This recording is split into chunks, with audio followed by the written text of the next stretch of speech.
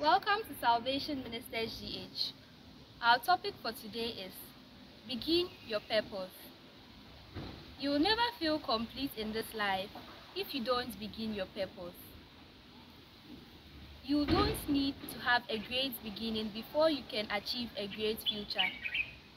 God brought us here on this earth with specific purposes. Do you know your purpose? What have you to show others? What have you to tell the world? What difference have you to make in someone's life? If you do not know any of these, ask He who created you to reveal your purposes to you. In case you know, start now from where you are and with what you have.